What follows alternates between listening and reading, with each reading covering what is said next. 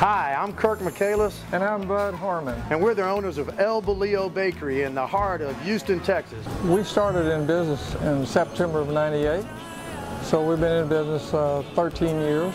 We're considered one of the best bakers in Texas. When we first started the business, we were coming up with a name. We ended up with El Bolillo because that's the staple of bread in the Hispanic culture, the bolillo bread, and also it's a slang name for the white boy like gringo or güero. So we're the bolillos. We have a large variety and that brings a lot of people. We have three to four, 5,000 people come to our store every day depending on the weekday or the weekend. We go through about 18 to 20,000 eggs a week. We go through 30,000 pounds of flour a week. It's amazing how much product we do, and that's because the people come, and that's what keeps it coming out fresh and hot every day. You can always find it fresh and hot at El Bolillo Bakery. We're also really known for our cake business. We got voted the best Tres Leches cake here in Houston, and it's because we use fresh products out of the farmer's market. We have fresh strawberries between the layers.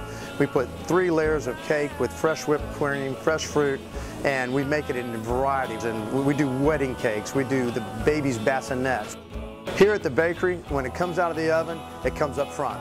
We don't keep it in the back. We want to sell our bread hot and fresh. We turn all of this showcase here every day. And if, it, if it's anything that's been here for a day, we don't sell it. It goes out to a shelter. When you come into the bakery, you'll be greeted. You'll pick up your trays with some tongs, and you go around, and it's all self-serve. You can take your time. Any questions, we're all helping. Want to tell you what the bread is, and you come up to the counter, and we'll uh, bag your bread up for you, put it in a box or however you like. We're proud to be the official best bakery in Texas for 2011. So come down and give us a try.